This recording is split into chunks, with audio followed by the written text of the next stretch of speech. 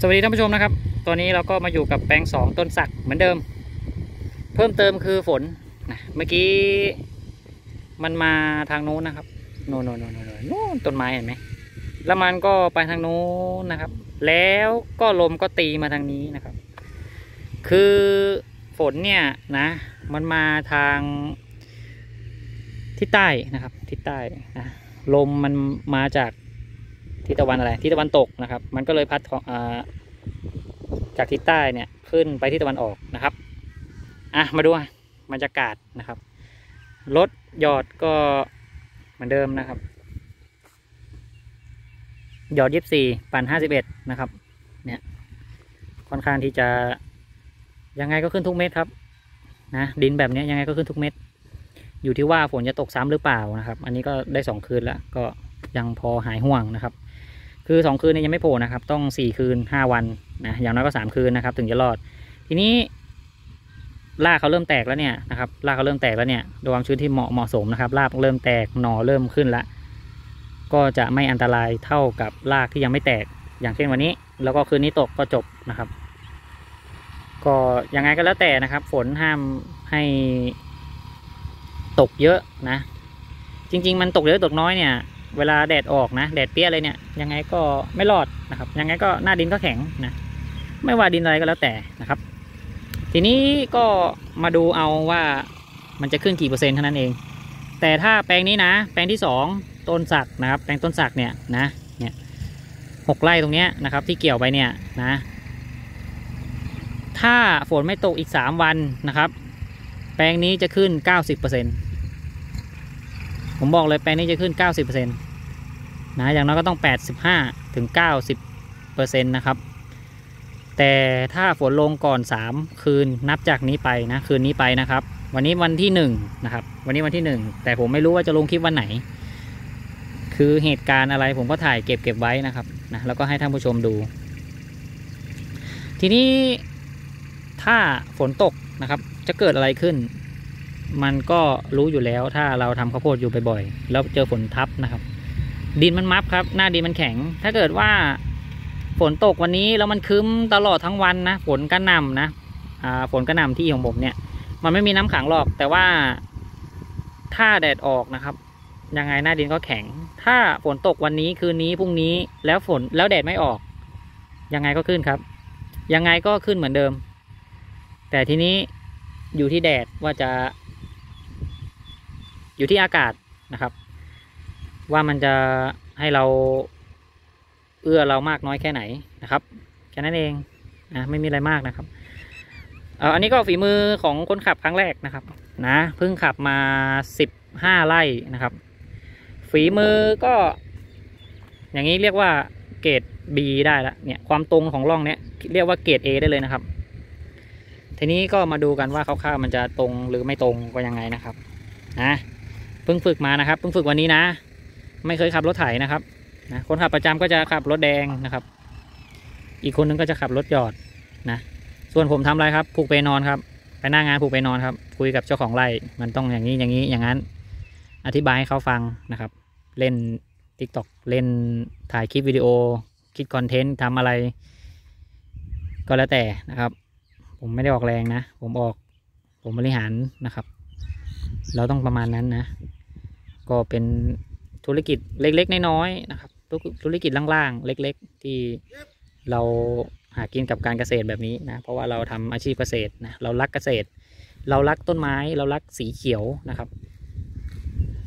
เราก็ต้องทำมาหากินในประมาณนี้นะครับ จะให้ผมทำข้าวโพดแล้วให้ผมไปนะทำงานโรงงานรองเท้าโน่นนี่นั่นก็ไม่มันก็ไม่เหมาะนะครับให้ผมไปทำงานของส่งก็ไม่ได้นะมันไม่ชอบนะครับ ทีนี้ก็ ลุ้นเอานะ นี่ก็ไม่ได้มีอะไรมากมายจะอธิบายนะครับ ก็มาให้ดูบรรยากาศเนี่ยเนี่ยเนี่ยมันมาอย่างเงี้ยเมื่อกี้มันมืดตึ๊บเลยนะครับตรงเนี้ย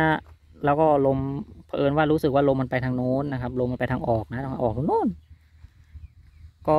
ถือว่าวันนี้ไม่ตกแล้วล่ะนะครับ มาอย่างนี้แล้วก็ไม่ตกแล้วนะรอดไปหนึ่งคืนนะครับ อันนี้รอดสามคืนแน่นอนนะครับเพราะรอดสามคืนพรุ่งนี้ถ้าไม่ตกอีกครึ่งนี้รอดนะครับเนี่ยครึ่งนี้รอดนะ มันไม่ครึ่งแหละ ครึ่งที่ผมนั่งอยู่เนี่ยนะ มันครึ่งนะอนุประมาณสองไร่ประมาณสามงานนะ อีกหนึ่งงานก็อยู่ตรงนี้นะครับ ทีนี้ที่หยอดใหม่วันนี้ก็คือสามไร่หนึ่งงานสองงานนะนะครับ ประมาณกาด้วยสายตานะครับ พอทั้งหมดเนี่ยมันหกไร่พอดี ทีนี้เราก็จะต้องลุ้นเอาละละนะ ว่าจะโละรอบสองหรือเปล่านะครับ หรือว่าจะเอาแค่นี้นะ ถ้าฝนตกนะครับ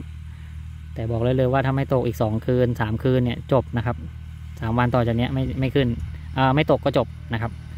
คือแน่นอนคือแน่นอน ถ้าโผล่เมื่อไหร่ออกจาก ICU เมื่อนั้น ถ้าเป็นคนก็ออกออกจาก ICU นะครับ แต่ยังไม่ออกจากโรงพยาบาลนะ เราต้องไปห้องรวมก่อน ไปห้องพิเศษก่อน ทีนี้ถ้าใบแบ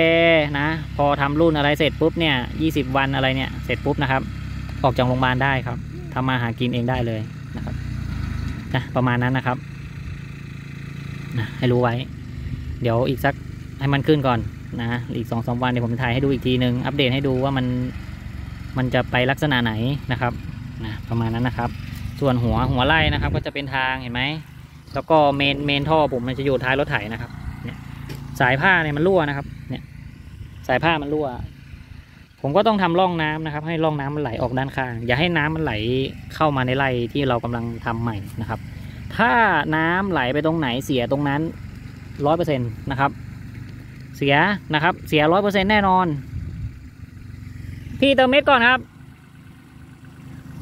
ก็ เสียแน่นอนท่านผู้ชมบอกเลยนะท่านผู้ชมทำหลายแปลงหลายล็อกเนี่ยแล้วน้ำผ่านหัวนะครับ ไม่ว่าผ่านตรงไหนก็แล้ว แต่ถ้าให้น้ำตรงไหนลุเข้ามานะครับ ตรงนั้นเสียแน่นอน ผมบอกเลยว่าเสียพันเปอร์เซ็นต์นะครับ เสียแน่นอนนะครับต้องดูนะ นะครับ พิจารณาเอานะครับ ถ้าเกิดว่ามันน้ำมันโลเข้าไปเนี่ยสมมติน้ำท่วมน้ำสมมุติว่าผ้าเนี่ยมันขาดนะครับ ผ้าเนี่ยมันขาดแรงดันมันสูง มันก็จะมีร่องเนี่ยผมก็ทำร่องหัวเนี่ยนะครับ ให้มันไปได้สะดวกนะครับนะแล้วก็เวลาให้น้ำเนี่ยนะครับ เดี๋ยวก็ยังไงล่ะทำรุ่นเสร็จนะ ผ้าอันนี้ก็อยู่ข้างบนนะครับ ผ้านี้อยู่ข้างบนแล้วก็จะเป็นสายเดินไปนะ คนก็จะมีมีเดินไปนะ มันจะหายประมาณสักครึ่งงานนะครับ เนี่ยเนี่ยถนนที่มันจะหายประมาณสักครึ่งงานนะครับ เนี่ยแค่นั้นเองนะก็ไม่รู้อะไรมันนี้คลิปนี้ไม่มีสาระเท่าไหร่นะครับ แต่ก็มาให้ดูบรรยากาศนะว่าเมื่อกี้เห็นไหมคุยกันไปสักเกือบสิบนาทีเนี่ยเห็นไหมไปแล้วไปแล้ว เราก็ต้องดูงานให้เสร็จให้เป็นนะครับ ไม่ใช่ว่าฝนตกเมื่อกี้บึ้มบึ้มบึ้มแล้วก็กลับบ้านกันโลด ไม่ใช่นะครับ ก็ดูเอานะครับ ว่าฝนมันมีวันไหนมีอะไรยังไงลมทิศทางไหนให้เราดูอากาศให้เป็นนะครับนะเวลาฝนจะตกเนี่ย อากาศมันจะอบอ้าวร้อนนะครับ นกมีปฏิกิริยามดดูเอานะครับ มันร้อนจนแบบร้อนผิดปกติอะนั่นเนี่ยอีกวันสองวันสามวันเนี่ยมันต้องตกสักวันหนึ่งแหละครับ ไม่มากก็น้อยนะหรือไม่ก็ตกที่อื่น แต่ว่า มันก็ต้องตกตกในโซนที่ที่เกิดอากาศร้อนนั่นแหละนะครับ ก็ดูเอานะนกมันบินยังไงมันมดมันเป็นยังไงนะครับ สัตว์มันจะรู้กว่าเราอีกนะ ว่ามันฝนมาหรือไม่นะมันก็จะประมาณนั้นนะโอเคนะครับ ทีนี้คุยไปคุยมาก็จะเสร็จแล้วนะครับ อีกประมาณไล่หนึ่งก็เสร็จละนะ ไวนะครับ เครื่องหยอดไวนะรถหยอดไวนะครับรถเนี่ย ถ้าท่านผู้ชมไม่ได้ดูคลิปก่อนๆเนี่ยก็จะเป็นรถ 24 นะครับ B 2404อะ2440 04 หรือ 40 ผมก็ไม่รู้นะ S นะครับ ตัว power เป็น 24 แรงคูปต้านั่นแหละนะครับ เข้าคลองอ้อย ผมก็เอามาติดผ่านหยอดนะครับ คือถ้าเอารถน้องแดงนะครับ ผมเรียกน้องแดงนะ น้องแดง ยันมา YM 351 ก็คือ รถยิ่งใหญ่มันยิ่งหนักนะครับ พอรถหนักปุ๊บเนี่ย เราปั่นเราไถไว้สวยแล้วเนี่ย ย่ำลงไปนะครับ เหยียบลงไปรถใหญ่เหยียบเหยียบลงไปนะสี่สิบห้าสิบลงไปเป็ดปุ๊บ ดินมันแน่นนะครับ พอดินแน่นปุ๊บเราทำรุ่นข้าวโพดก็ไม่งาม ทีนี้มันก็ต้องดูเอานะครับ ถ้าเรามีแต่รถใหญ่เราก็ต้องจำใจเอารถใหญ่นะครับนะอย่าไปหาหนี้เพิ่มเติมดีกว่านะครับ ถ้ามีกำลังก็จัดไป ถ้าพอดีพอดีก็มีอะไรก็ใช้อย่างนั้นนะครับ ไม่ว่าอะไรก็ตามนะครับ อุปกรณ์อุปกรณ์ก็อันไหนใช้ได้ก็ใช้ไปก่อนตอนเนี้ยนะครับ ทุกอย่างต้นทุนแพงมากนะครับ เท่าแพงกับ 2 ปีที่แล้วนะครับ ต้นทุนในการทำข้าวโพดเนี่ยสปีที่แล้วนะประมาณ 70%นะยังไม่ถึง 2 เท่านะครับ ก็คือหกไร่ตรงนี้ปกติก็มันไม่ถึงสองหมื่นอะตอนนี้มันทะลุสองหมื่นนะครับสองหมื่นสองสองหมื่นสามต่อไร่ไอ้ต่อหกไร่เนี่ยต่อแปลงเนี่ยนะครับ ผมจะเรียกว่าแปลงที่สองนะครับ เพราะว่าแปลงนี้เป็นแปลงที่ผมทำครั้งที่สองนะเดือนเดือนนี้เดือนอะไรเนาะ กรกฎานะครับ เดือนนี้ก็เดือนกรกฎาเป็นแปลงที่สองเพราะฉะนั้นเนี่ยผมจะทำให้ข้าวโพดเนี่ยมีหยอดได้ทุกเดือนนะครับ ให้มันเกี่ยวได้ทุกเดือนน่ะนะมิถุนาก็เป็นแปลงที่หนึ่งนะเก้าไร่ตรงโน้นนะครับแปดไร่เก้าไร่อันนี้หกไร่ก็คือแปลงที่สองเดือนมิกรกฎากรกฎาแล้วก็อะไรต่อสิงหานะครับ สิงหาก็จะเป็นอีกแปลงหนึ่งที่กำลังจะเกี่ยวไม่กี่วันนี้นะครับ ทีนี้กรกฎาสิงหานะครับ สิงหาก็จะเป็นแปลงฝั่งโน้นนะครับ เป็นแปลงฝั่งโน้นประมาณสิบสองไร่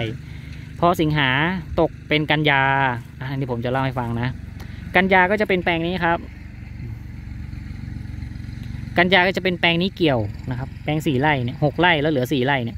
จะเป็นแปลงนี้เกี่ยวเกี่ยวกันยานะครับ ไม่รู้ว่าวันที่เท่าไหร่แหละ แต่มันเป็นเดือนกันยานะครับ ขออนุญาต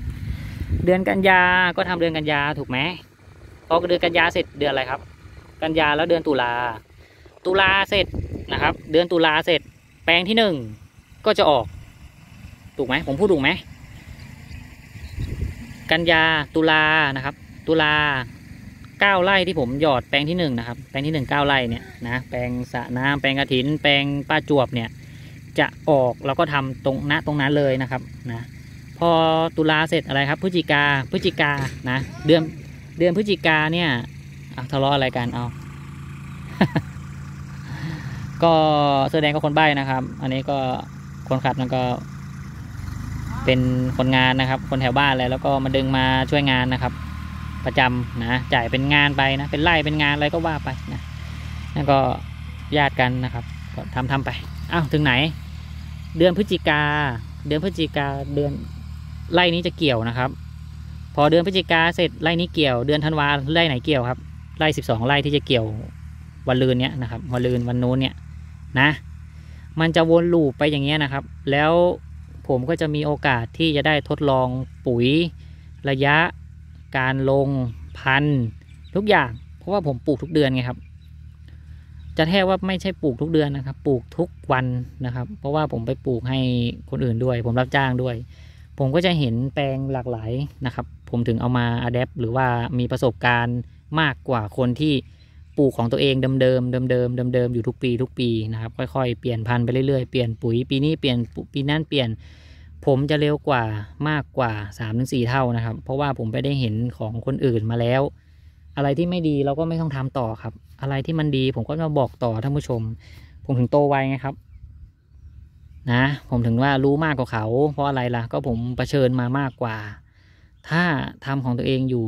ประจำทุกปีมันก็แค่นั้นนะครับ ถ้าไม่ได้หาความรู้จากหนังสือหรือว่าเว็บ หรือว่าที่ต่างๆนะครับนะ